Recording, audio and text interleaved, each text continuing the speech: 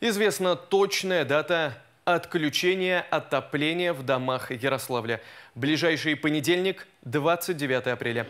Каким будет порядок отключения первому Ярославскому, рассказали в мэрии. В этом году мы заканчиваем отопительный сезон раньше, потому что среднесуточная температура, она уже больше плюс 8 градусов.